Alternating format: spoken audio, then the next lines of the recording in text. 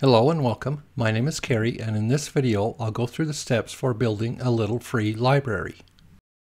We looked at libraries on the Little Free website and considered buying the Essential model for $149, but when I saw the shipping was $69, making the whole cost for the kit over $200, I decided I would buy the materials and build the library myself. I already have a circular saw, so with the money I would have spent on freight, I decided I would buy a router instead. This will allow me to cut a groove in the door for the library to accommodate the plexiglass and to make the door on the library a little more interesting. On the website, I was able to download the plans for building the library that includes the lumber dimensions. The plans are for using 5 8 plywood and what I'll do first is cut out the bottom, which is 10 and 3 quarter inches by 19 inches.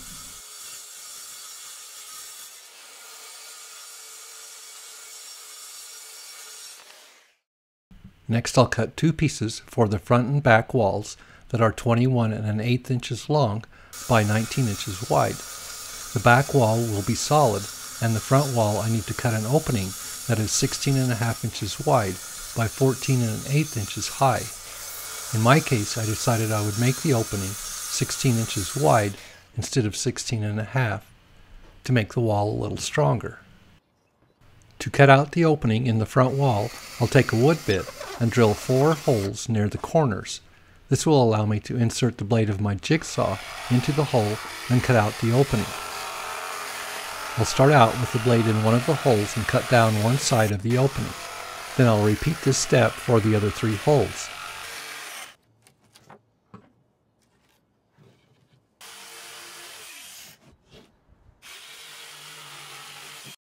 On the bottom edge of the front and back walls, I'll draw a line that is 3 eighths of an inch from the bottom edge of each piece. This will give me a guide to go by when drilling the screw holes from the walls into the bottom.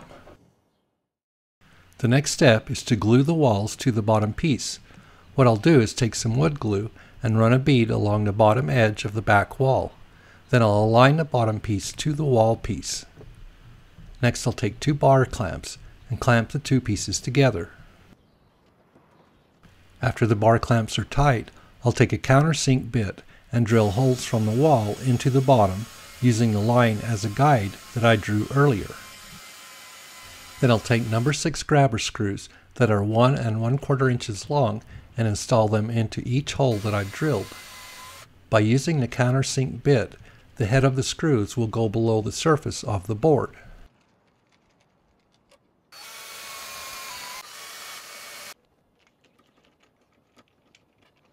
When the screws are installed, I'll take a combination square and check that the wall is square with the bottom piece. Next, I'll take the front wall and glue it to the bottom piece using the same steps that I used on the back wall. First I'll run a bead of glue, clamp the walls to the bottom piece, use a countersink bit to drill holes along my line, install grabber screws, then check that the front wall is square with the bottom. While the glue is drying on the front and back walls, I'll go ahead and cut out the two side walls for the library. The total length for each piece is 27 and 1 8 inches, and the width is 12 inches. At the 21 and an 8 inch point, I'll mark out the lines to the center at the end of the piece. This will define the pitch of the roof.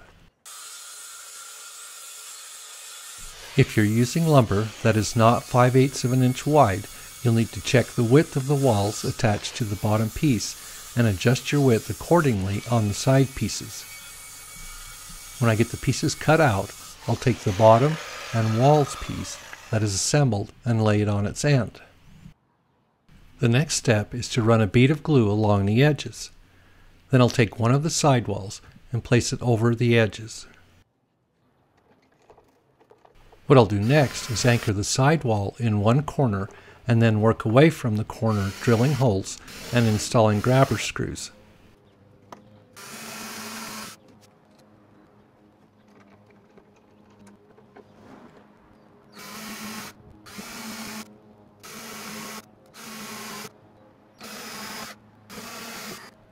When I get the holes drilled and screws installed, in this side of the wall, I'll flip the library over and install the second side wall. Remember that drawing a guideline before drilling the holes in the wall is a big help.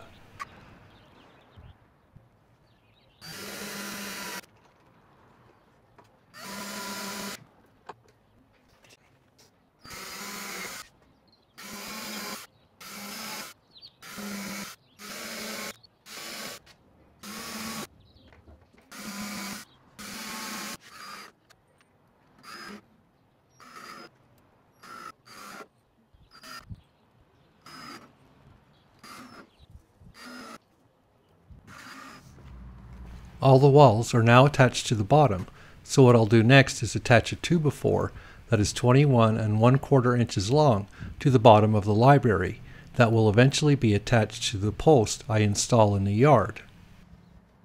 The plans call for a 2x6, but I had a scrap piece of a 2x4, so I'll go ahead and use it instead. Notice that on the bottom piece of the library, I've drawn a line down the center. What I'll do is match the bottom piece of the library with the center of the 2x4. Next I'll take a number 8 countersink bit and drill holes through the bottom of the library into the 2x4. Then I'll take number 8 grabber screws, 1 and 5 eighths inches long, and install them into the screw holes.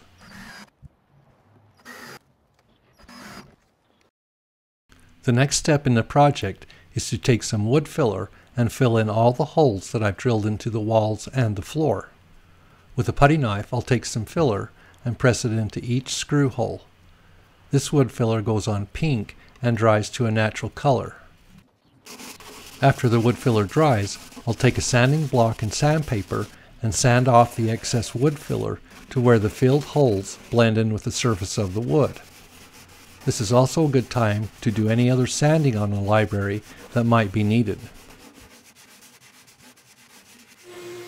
When I get the sanding done, I'll take my shop vac and vacuum up the dust and any wood pieces. Then I'll take a slightly damp cloth and wipe down the library to remove any dust that the shop vac missed. Remember that one of the biggest priorities when building the library is to keep moisture out of the inside and away from the books. So before I install the roof, I'll take some latex caulk and caulk all of the inside seams on the library. When picking a caulk for your library, be sure to use latex caulk because it's paintable. First, I'll cut the tip on the tube on a 45 degree angle and then I'll run a bead along each seam.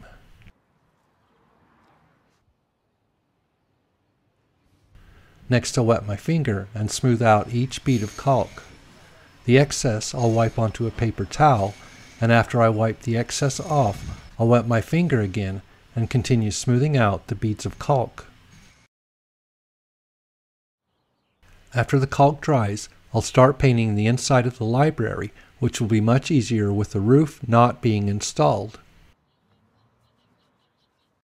This is exterior latex paint that I bought at Kwal Howells. In the instructions it says to do a couple coats of paint, then apply three or four coats of clear sealer. After talking to the experts at the paint store, they said I could just go ahead and do a few more coats of paint and it would achieve the same result. Then I wouldn't have to buy a separate can of sealer. After I get all of the corners painted on the inside of the library with a brush, I'll take a 4 inch corner roller and do all of the walls on the inside. The corner roller works great on a project of this size. What I want to do is load the roller with paint, then spread the paint out until there is an even coat. While the paint is drying on the inside, I'll go ahead and paint the outside of the library. The quart can of paint I bought was enough to do four coats on the inside and outside of the library, both sides of the door, and I still have enough left over to do a bit of touch-up if needed in the future. The next step in the project is to go ahead and cut out the two roof pieces. The instructions say each piece should measure 11 and a half inches wide by 21 and a half inches long. I decided I would make mine just a bit longer so that the roof would have a little more overhang. First I'll cut out a 12 inch wide section from my sheet of plywood. Then I'll mark a line at 11 and a half inches. Next I'll adjust my circular saw to cut a 45 degree angle and then I'll cut along my mark at each piece.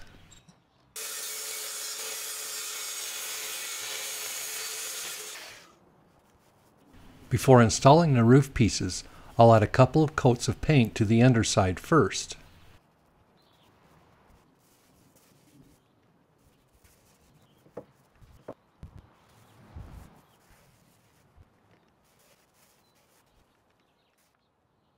After the painting is done, I'll glue the edges of the side walls and place the roof piece to where there is the same overhang past each of the side walls. Then I'll run a bead of glue along the other edges of the side walls, match up and press the second piece against the first piece. With my number 6 countersink bit, I'll drill holes on each side of each piece, then install grabber screws into the holes.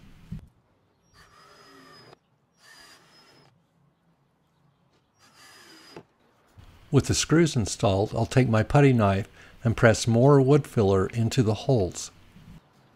I'll wait to sand the wood filler until I get the trim installed around the roof line. Where the two roof sections meet there is a gap, so I'll take some latex caulk and fill in the gap.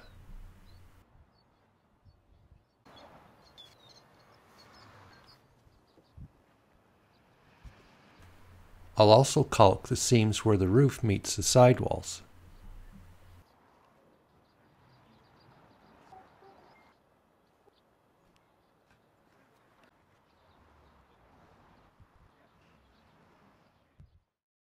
The instructions don't say what the angle of the roof is, so I bought this digital angle finder to measure the angle, then I can use the information to cut the trim pieces for the roof. What I'll do is place the angle finder over the roof and see what the reading is. The angle is 76 degrees. Half that amount is 38 degrees. I'll adjust the angle finder to 38 degrees and lay it on my miter table. Then I'll adjust the table to fit the angle on the angle finder. The angle on the miter table reads 52 degrees. This didn't make sense to me, so I called a friend who is a carpenter and asked why there is this difference. He said that I should take the 76 degree reading from the angle finder and subtract it from 180 degrees, which leaves a result of 104. Then divide 104 degrees by 2 and the result is 52 degrees, which matches up with the reading on my miter table.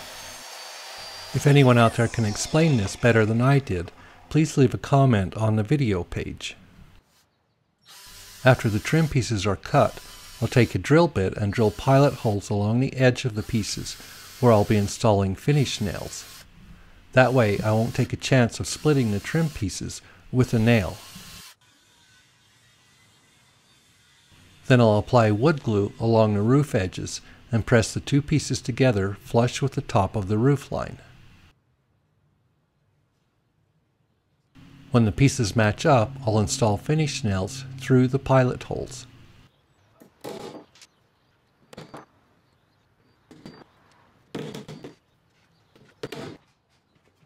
Once the nails are installed, I'll take a nail set and countersink the nail heads.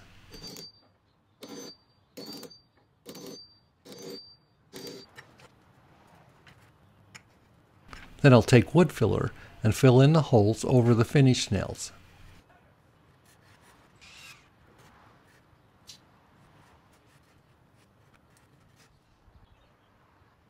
Then I'll repeat these steps on the other end of the roof line.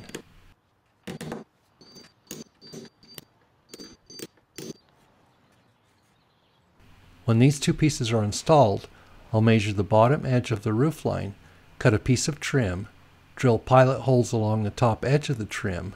Run a bead of wood glue along the top edge of the trim. Then place the trim to where it matches up with the top edge of the roof piece. In this case, I'll take two bar clamps and clamp the trim pieces in place until the glue dries. After the glue dries, I'll install finish nails, countersink the nails, then apply wood filler to the nail holes. Then I'll repeat these steps for the trim piece on the other side of the roof. When the wood putty dries, I'll take a sanding block and sand the roof sections and the trim pieces.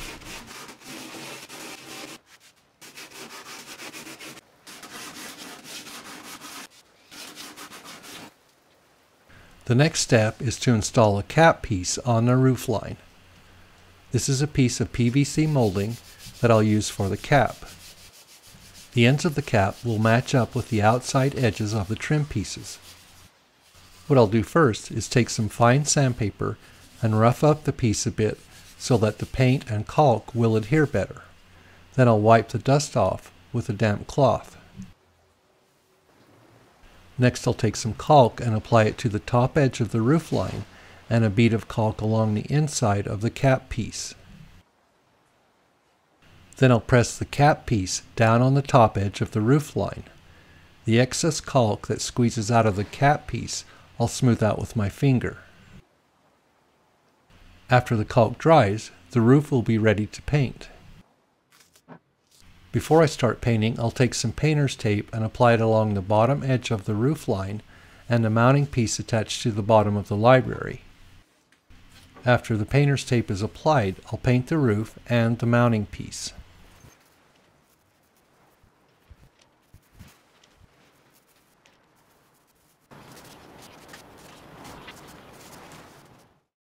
Next I'll cut out the door for the library. I'll use the same process here as I did for the front wall. I'll drill four holes near the corners with a wood bit, and I'll use my jigsaw to cut out the lines.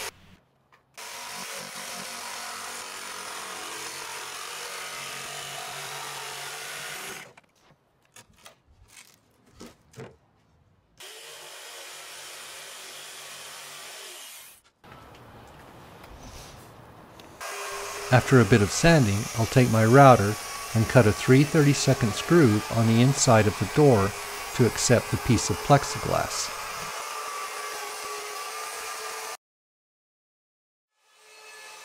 Then I'll try out a Roman ogee router bit on the exterior of the door.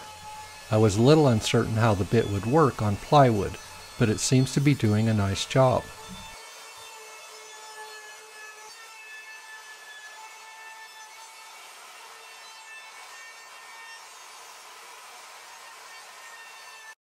When finished with the router, I'll do a bit of sanding. Then I'll paint the inside and outside of the door. With the door painted, the next step is to install plexiglass in the door opening. From what I've read online, I should be able to cut the plexiglass with a skill saw, a table saw, or a jigsaw. After marking out the cut line on the plexiglass, I'll take my jigsaw and make the cut. Once the plexiglass is cut, I'll remove the protective wrap on both sides. Then I'll run a bead of caulk around the groove I cut in the door. The next step is to press the plexiglass into the caulk.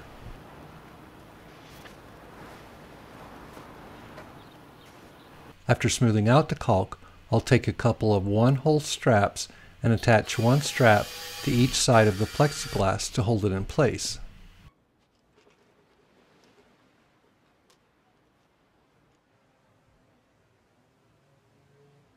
After installing the plexiglass, I'll install two door hinges. These are self-closing overlay hinges that will attach to the inside of the door and the outside wall of the library. Hopefully the self-closing feature will help prevent the door from being left open to the weather. I'll drill pilot holes where the hinges go so I don't take a chance of splitting the door.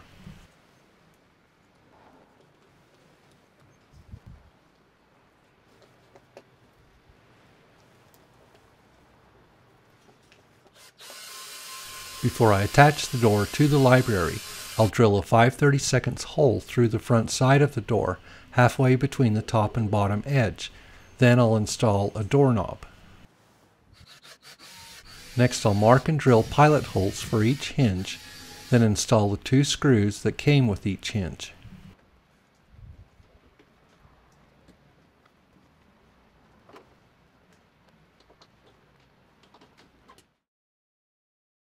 I'm going to try magnetic latches for the door. so I'll place the magnetic part of the latches in the upper right corner and the bottom right corner of the front wall, then the metal plates of the latches on the door.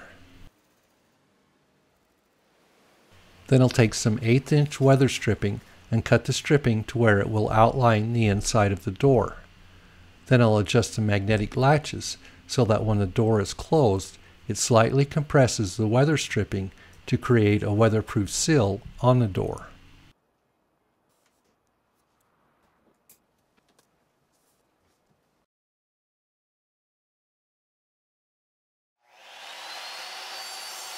The next step is to cut a 4x4 post 5 feet long and install it in the yard.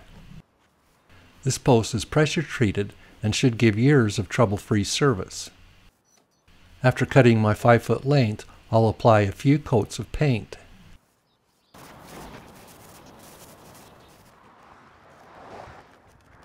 The hole I dig in the yard will be 2 feet deep and 6 inches away from the concrete. I don't want the edge of the library protruding out into the sidewalk. When the hole is dug, I'll take small lifts of dirt and add them to the hole, compacting each lift of dirt with the end of my shovel handle.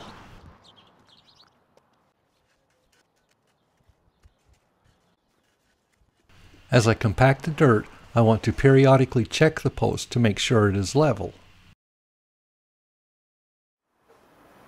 Before mounting the library on the post, I'll take the 3 foot leftover piece from the post and block it up at the center of the mounting piece. Then I'll measure for the two support pieces for the library that will attach to the post. Next I'll cut 45 degree bevels in the support pieces and when the cuts are made I'll apply a few coats of paint to each support. Okay, the library is now ready to mount on the post. First I'll mark the center of the support piece on the bottom of the library, then I'll mark the center of the post. Next I'll place the library on my marks, and while my wife keeps it from tipping off the post, I'll install a couple of angle brackets with 1 and 5 8 inch grabber screws. When the angle brackets are installed, I'll take the two support pieces and screw them into the post and the board on the bottom of the library. Next I'll go to the Little Free website and register the library. Looks like I need to buy a custom charter sign that costs $42.45. Before I can add my library to the world map, it looks like I need a charter number. And to get that number, I'll have to wait for the Little Free charter sign to be shipped and when the sign shows up, it should have the charter number on it. When I picked colors for the library, I tried to select colors that would be a close match to our house. Now that the library is in the yard, it looks like the colors I picked are a pretty good match. So that completes this video on building a little free library. If you like the video, please click the thumbs up. And to see more of my how-to videos, visit my channel iScaper1 on YouTube.